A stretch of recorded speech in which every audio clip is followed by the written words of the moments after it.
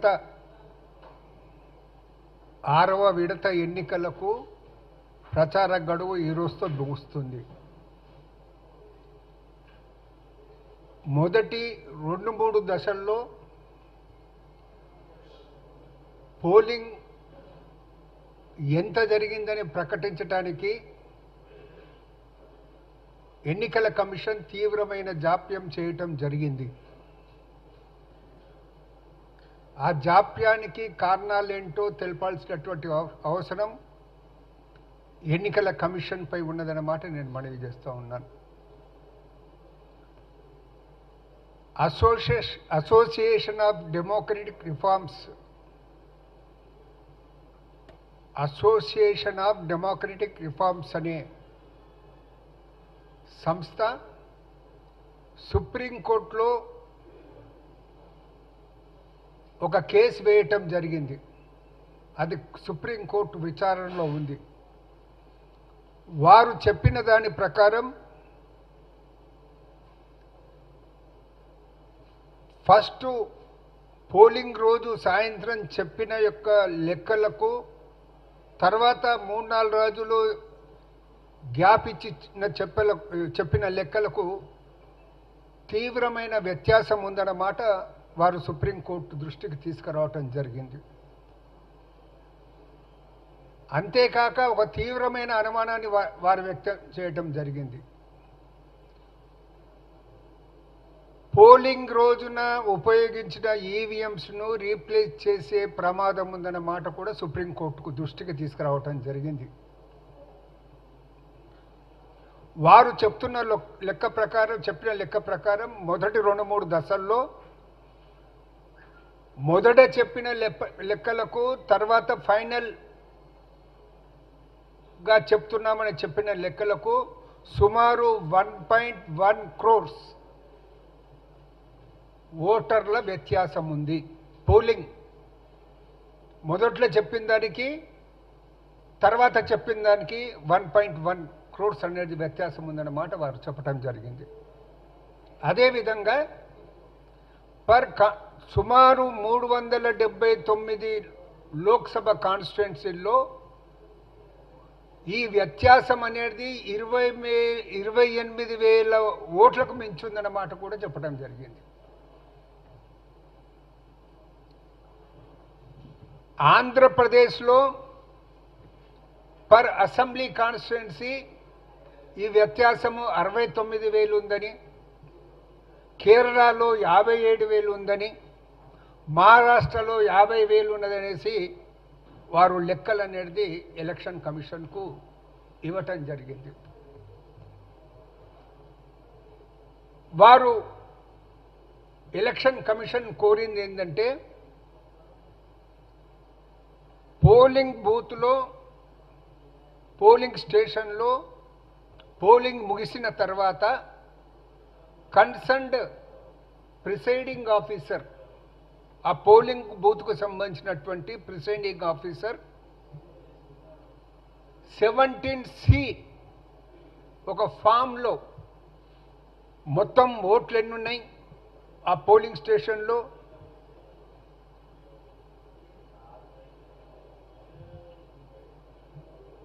ఎన్ని పోలైనాయి అనే వివరాలు మొత్తం అనేది ఆ షీట్లో సెవెంటీన్ షీ ఫామ్ ఫార్మాట్లో ప్రిసైడింగ్ ఆఫీసర్ సంతకం పెట్టి దానిపై అక్కడ క్యాండిడేట్కి సంబంధించిన ఏజెంట్స్ని కూడా వాళ్ళు వాళ్ళ సమక్షంలో వాళ్ళ సంతకాలు తీసుకొని కూడా అందరికీ కాపీ ఇవ్వటం జరుగుతుంది. తెలంగాణ ప్రదేశ్ కాంగ్రెస్ కమిటీ తరఫున నిన్న రాత్రి అనేది ఒక లెటర్ అనేది ఎలక్షన్ కమిషన్కు పంపించడం జరిగింది. అందులో మేమేం చెప్పామంటే ఫోర్టీన్త్ నాడు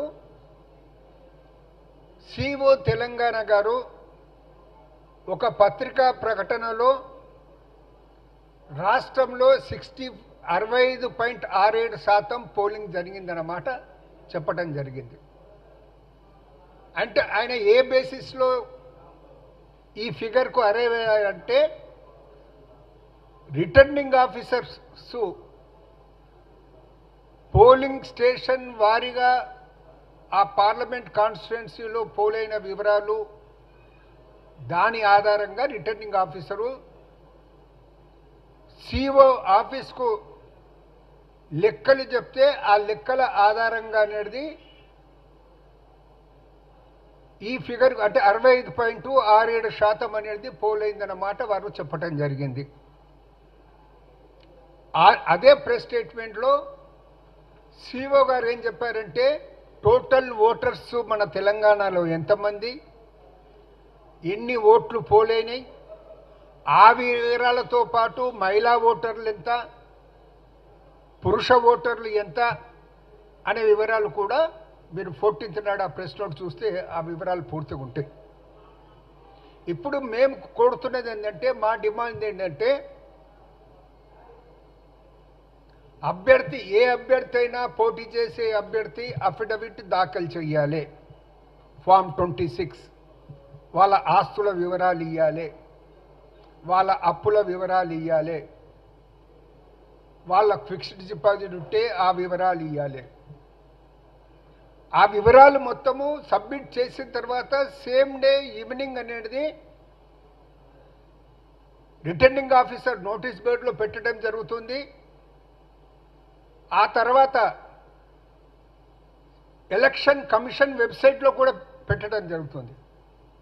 మనం ఎలక్షన్ కమిషన్ వెబ్సైట్లో పోతే పలానా సంవత్సరంలో ఎవరు నామినేషన్ చేశారు పలానా అసెంబ్లీగా పార్లమెంట్ అంటే ఆ వివరాలు ఆ నామినేషన్ పత్రం కనబడుతుంది.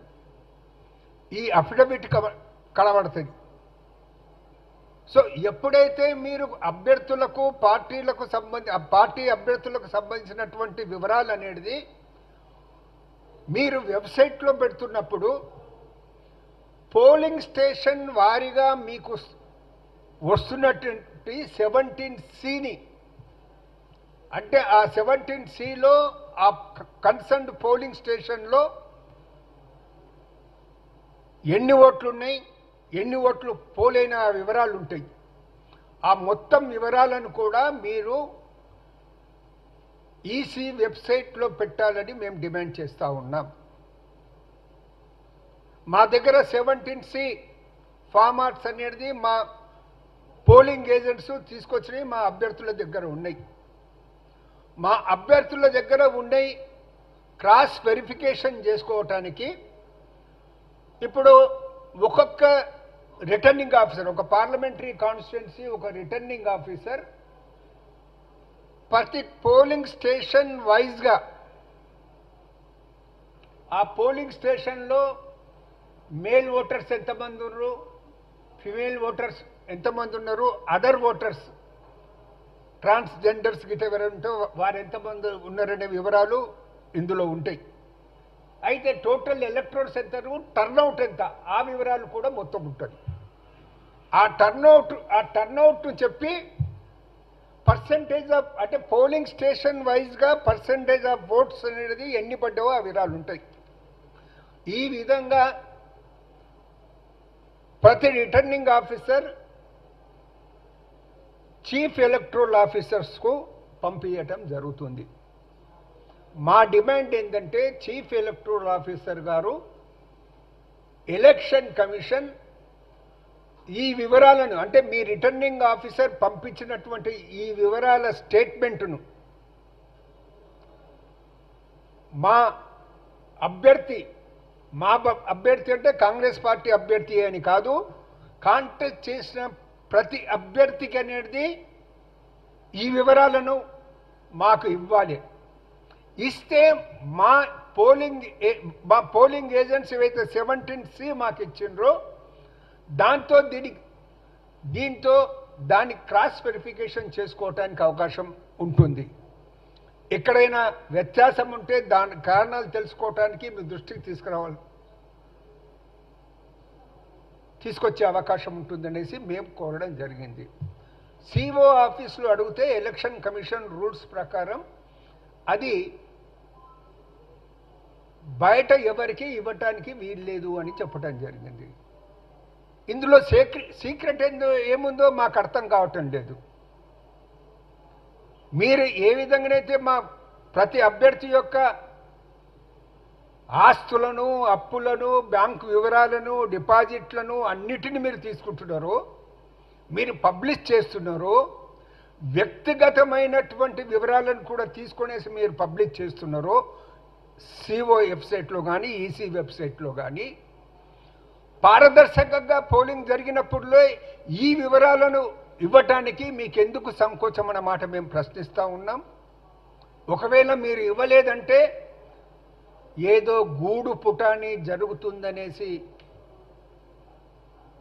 అనుమానించడానికి ఆస్కారం ఉందనే మాట మీకు మనవి చేస్తూ ఉన్నాను.